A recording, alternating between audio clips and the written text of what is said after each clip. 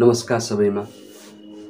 आजको दिन सम्पूर्ण मानवहरूको निम्ति केवल हिन्दूहरूको लागि मात्र नभई सम्पूर्ण मानवहरूको निम्ति अति पवित्र दिन आज शिवरात्रिको दिन।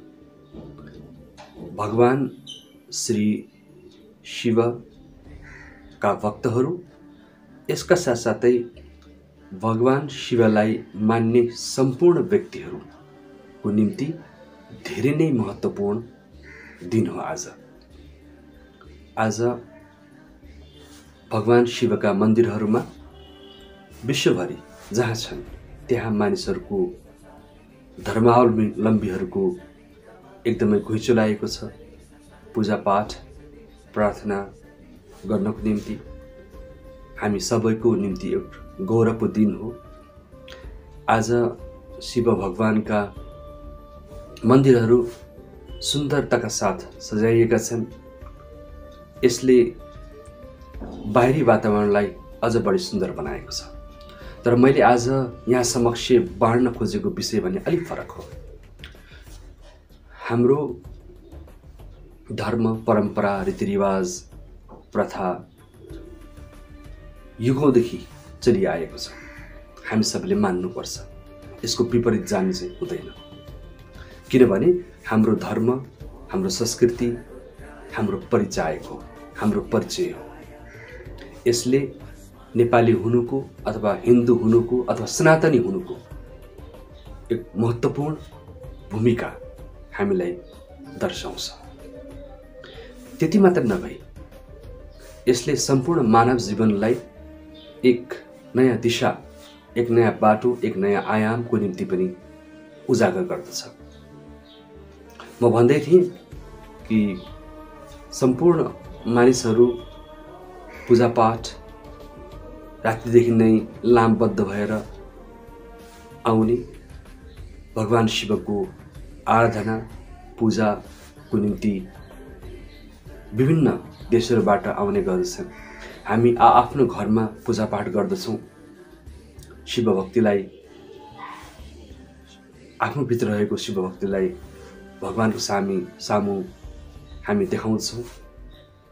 यो हाम्रो परम्परा हो। तर के भगवान् शिवका मन्दिरहरूमा जाँदैमा पूजापाठ गर्दैमा आराधना गर्दैमा के हामीले शिव भगवान्ले देखाएका बाटाहरू यति मात्रै हो। फरक छ। फरक के छ भने यो पूजापाठ अर्चना आराधना एउटा बाहिरी आवरण हो। मित्र यो बाहिरी आवरण मात्रै हो। भित्री आवरण के हो भनेको तपाईँको र मेरो परिवर्तन हो। जबसम्म तपाईँ र म भित्रबाट परिवर्तन हुँदैनौँ। हामीभित्र जुन रहेको छ प्रदूषण अथवा डार्क साइड अथवा कालो पक्ष अँध्यारो पक्ष अथवा नराम्रो पक्ष। जबसम्म आफूभित्र रहेको अँध्यारा पक्षलाई उज्यालो पक्षमा परिवर्तन गर्न सक्दैनौँ तबसम्म कुनै पनि पूजापाठ प्रार्थना आराधना अर्चना सायद अधुरो रहन्छ। क्यान्डल जलाउँदैमा दीप प्रज्वलन गर्दैमा हात जोड्दैमा हामीले यो त हाम्रो परम्परालाई जीवित राखेको मात्रै हो। तर यो भित्री रूपमा हामीले ईश्वरले दिएको ज्ञानलाई कति यसको प्रयोग गर्यौँ भन्ने कुरा हामी बदलियो कि बदलिएनौँ? हाम्रो सकारा सकारात्मक बदलाव परिवर्तन नै महत्त्वपूर्ण कुरा हो। भगवान्का मन्दिरहरूमा गएर पूजा अर्चना आराधना एकदमै गर्ने प्रार्थना एकदमै गर्ने तर हाम्रो दैनिक जीवनमा व्यवहारहरूमा ढाँट्दै छल्दै कपट गर्दै भ्रष्टाचार गर्दै अर्कालाई दुःख दिँदै गऱ्यो भने के त्यो पूजापाठ गरेको फलिपाप होला? पक्कै पनि हुँदैन मित्र। पक्कै पनि हुँदैन। र भगवान्लाई एक दिन या कुनै समय या बिहान बिहान या बेलुका बेलुका पूजा गर्दैमा भगवान् प्रसन्न हुँदैनन्। भगवान् प्रसन्न कति बेला हुन्छन् भनेपछि जब हाम्रो सोच विचार कर्म र स्वभावमा सकारात्मक परिवर्तन हुन्छ। त्यसकारण यहाँहरूले देख्न सक्नुहुन्छ कि सबै एउटै परम्परागत धारमा चलिरहेका छन्। यस संसारभरि तपाईँले सम्पूर्ण मान्छेहरूलाई अधिकांश मान्छेहरूलाई केवल परम्परागत धारमा चलेको मात्र देख्नुहुन्छ। आआफ्नो परम्परा आआफ्नो संस्कृतिमा जुन चलिआएको छ त्यही चलिआएकोमा अभ्यस्त हुन सबैलाई रमाइलो लाग्छ। त्यस्तो गर्दा निकै पुण्य कमाएको भन्ने महसुस हुनसक्छ तर त्यो अधुरो हुन जान्छ। कुनै पनि ईश्वरले देखाएका बाटाहरू कुनै पनि भगवान्ले देखाएका बाटाहरूमा चल्नु भगवान्ले देखाएका सिद्धान्तहरूमा आदर्शहरूमा चली। सोच विचार कर्म र व्यवहारलाई सकारात्मक परिवर्तन गर्नु नै सबैभन्दा महत्त्वपूर्ण हो। एकदमै महत्त्वपूर्ण कुरा हो। र यो धेरै बाटो हुन सकेको छैन। तसर्थ हामी केमा लागिरहेका छौँ भनेपछि परम्परादेखि चलिरहेको जुन क्रियाकलाप हो त्यसैमा हामी लागेर हामीले धेरै पुण्य कमाएका छौँ भन्ने महसुस हुन्छ। यसरी कहिले पनि न मन पवित्र हुन्छ न विचार पवित्र हुन्छ न कर्म पवित्र हुन्छ। व्यक्ति पवित्र हुन सक्दैन। कुनै स्थानमा गएर स्नान गर्दैमा व्यक्तिका पापहरू काट्छन् भन्ने कुरा यो विश्वास योग्य सायद होइन। पाप कति बेला कट्छ भनेपछि जब मान्छेले पाप गर्दै गर्दैन। मन वचन कर्मबाट यदि कुनै हिंसा हुँदैन मन वचन कर्मबाट कुनै किसिमको अरूलाई हानि हुने किसिमको कसैले काम गर्दै गर्दैन भनेपछि सायद पाप लाग्दैन। यही अर्थ हुनसक्छ। तर हामी आफूलाई परिवर्तन गर्न सकेनौँ। हाम्रा हाम्रा अगुवाहरूले पनि हामीलाई त्यस्तो किसिमको बाटो देखाउन सकेनन्। जुन धारमा जुन भेलमा यो संसार चलिरहेको छ त्यसैमा हामी चल्न कोसिस गऱ्यौँ। त्योमा नचल्नु नराम्रो होइन।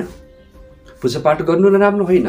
तर आफ्नो व्यक्तिगत स्वभाव आफ्नो सोच विचार कर्म र स्वभावलाई परिवर्तन नगरी केवल सुगा चाहिँ दिन रात बिहान बेलुका यो वर्ष अर्को वर्ष अर्को वर्ष केवल पूजापाठ मात्रै गरिरहनु भनेको यो अधुरो कर्म हो। यसबाट कुनै पनि देवी देवताहरू खुसी हुँदैनन्। खुसी त्यति बेला हुन्छन् जब हामीले भगवान्ले देखाएका बाटाहरू पथहरूमा सम्पूर्ण मानवलाई सम्पूर्ण जीवलाई जब हामी प्रेम गर्छौँ कसैको हत्या हुँदैनौँ। अब यहाँ हत्या भन्नाले मन वचन कर्मबाट पनि हिंसा हुँदैन। न मनबाट कसैलाई दुःख पुर्याउँछौँ चोट पुर्याउँछौँ न वचनबाट न व्यवहारबाट न कर्मबाट। जब हामी मन वचन व्यवहार कर्मबाट कसैलाई दुःख दिँदैन भनेपछि त्यो पुण्य भइहाल्यो। यस्तो गर्न हामीले सक्दैनौँ र त्यस कारणले हाम्रा अगुवाहरूले यो सही बाटो देखाउन सकिन्न चिन्तन गर्न सकिन्न। हामी त केवल मुसाको दौडमा लाग्यो। एउटा बाँसुरी बजायो अनि त्यसको पछाडि पछाडि मुजा मुसाहरू लागेर खोलामा हाम फाले झैँ हामी त्यही गर्दैछौँ। मैले पूजापाठ प्रार्थना आफ्ना रीति परम्परा संस्कृतिलाई नमान्नुहोस् भन्न खोजेको होइन। बिन्ती यसरी नबुझौँ। मैले त के भन्न खोज खोज्दैछु भने आफ्ना परम्परा संस्कृतिलाई कायम राख्दै र आफ्नो परिवर्तन पनि अति आवश्यक छ। आफ्नो परिवर्तन बिनाको जति पनि हामी गर्छौँ त्यो केवल ढोङ हुनसक्छ त्यसले न स्वयंको परिवर्तन हुन्छ न स्वयंले परिवारलाई परिवारका सदस्यहरू या परिवारलाई परिवर्तन गर्न सक्छ न समाजलाई नै परिवर्तन सक्छ। त त्यस्तो काम जो केवल प्राचीन समयदेखि गरिआएको छ त्यसले संस्कृतिलाई बचाउने काम चाहिँ गर्छ। तर परिवर्तन ल्याउँदैन। जबसम्म मान्छेमा परिवर्तन आफूमा स्वयंमा आउँदैन तबसम्म विकास भन्ने कुराहरू र शान्ति भन्ने कुराहरू प्राप्त हुँदैन। हामी भगवान्का मन्दिरमा किन जान्छौँ? शान्ति प्राप्त गर्ने निम्ति एकछिन भए पनि हामीलाई आनन्द महसुस हुन्छ। तर मित्र आनन्द र शान्ति दुईवटा फरक कुरा हुन्। एकछिनको मनोरञ्जन र आजीवन मनोरञ्जन। आजीवन आनन्द परमानन्द प्राप्त गर्नु अर्को कुरा हो।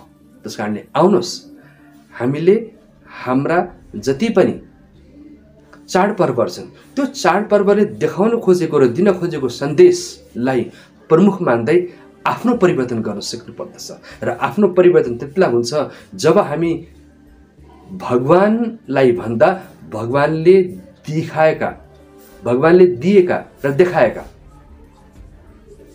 पथहरूलाई सिद्धान्तहरूलाई बाटाहरूलाई विचारहरूलाई आत्मसात गर्छौँ र जस्ताको तस्तै आफ्नो जीवनमा प्रयोग गर्छौँ। अनि किन हुँदैन शान्ति? शान्ति अवश्य हुन्छ। अहिले जतिसुकै युद्ध भइरहेको छ देशभित्र देश बाहिर भ्रष्टाचार भइरहेको छ हिंसा भइरहेको छ हत्या भइरहेको छ यो के को कारणले हो? कारण के हो भने हामी सम्पूर्ण मानवहरू चाहे त्यो जुनसुकै सम्प्रदायको होस् केवल भगवान्लाई मान्ने मात्रै लाग्यौँ हामीले भगवान्लाई जान्ने भगवान्ले दिएको कुरालाई जान्ने कुरातिर लागेनौँ हामीले। भगवान्लाई बुझ्ने कोसिस गरेनौँ। पूजापाठ गरिदियौँ। पूजापाठ गरिदियौँ र पूजापाठ गर्दैमा मेरो काम सकियो भन्ने कुरा हामीले त्यो सोच्यौँ। र बिहान र बेलुकाको पूजापाठले दिनभरि जस्तो का कर्म गरे पनि हुन्छ कुकर्म गरे पनि हुन्छ भन्नेतिर हामी सोच्यौँ त्यस्तो गर्दा न तपाईँको भलो हुन्छ न मेरो भलो हुन्छ न जगतको नै भलो हुन्छ। त्यस कारणले आउनुहोस् हामी असल बाटोमा लागौँ असल कर्ममा लागौँ। वास्तवमा भगवान् शिवले देखाएको बाटो के रहेछ? भगवान् शिवले के भन्न खोज्दै हुनुहुन्छ? हामी मानवले मानवलाई कसरी प्रेम गर्नुपर्ने हो? र मानव मानवले अरू यो जगतमा रहेका जीव जन्तु पशु प्राणीलाई किन माया गर्ने? भगवान् त पशुका पनि पति। भनेपछि पशुलाई हामीले कति प्रेम गर्नुपर्ने हो? त पशुलाई रेटेर खानुपर्ने हो या पशुलाई प्रेम गरी उनीहरूलाई उनीहरूको जिन्दगी बाँच्नलाई दिनुपर्ने हो? खै त यति सानो कुरो पनि हामीले सोचेनौँ भन्दाखेरि त हामी पशुका पति सबका पति ईश्वरका पनि ईश्वर भनेर भन्दछौँ नि शिवलाई। त शिवले देखाउन खोजेको बाटोमा यदि हामी लाग्यौँ भने मात्र हामी सबैको कल्याण हुनेछ। अन्यथा श्री पशुपतिनाथले सबैको कल्याण गरून् भने भन्दै गर्दा कल्याण नहुन पनि सक्छ। किन? भनेपछि हामीले आफ्नो कर्मलाई आफ्नो मनलाई आफ्नो विचारलाई आफ्नो स्वभावलाई शुद्ध गर्न सकेनौँ। शुद्ध त्यतिला हुन्छ जब हामी भगवान्ले देखाएका बाटोहरूमा असलमा लाग्छौँ। र असल बन्नु चान्चने कुरा होइन। जब हामी असल बन्छौँ ईश्वर हाम्रो साथमा हुन्छ हरपल साथमा हुन्छ। आउनुहोस् यसै गर्ने हामी यो शिवरात्रिलाई एक दिनको निम्ति मात्र होइन चौबिस घन्टाको निम्ति मात्र होइन आजीवन आफ्नो मन वचन कर्मले यसलाई मनाऊ यसमा आनन्द लिउँ। शिव भक्तिमै डुबुल्की मारौँ। शिव आफूलाई आफूभित्र उतारिदिउँ। यस्तो गऱ्यो भने न हामीलाई भाङ खानुपर्छ न कुनै विशुद्ध अशुद्ध खानेकुराहरू खानु पर्दैन। भाङ जत्रो खानु पर्दैन हामीहरूले। हामीले त भगवान्को चरणमा रहेर असल कर्म गऱ्यो भने त्यत्तिकै हामीलाई पुण्य प्राप्त हुन्छ। आउनुहोस् यस संसारमा शान्ति होस्। एक देशले अर्को देशलाई प्रेम गरोस् सद्भाव राखोस् सहयोग गरोस् इज्जत गरोस् भन्दै यस भिडियोबाट म बिदा हुन्छु। धन्यवाद। नमस्कार। Thank you very much, Dr. Good good human.